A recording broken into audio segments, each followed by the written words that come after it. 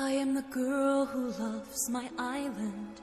I'm the girl who loves the sea. It calls me.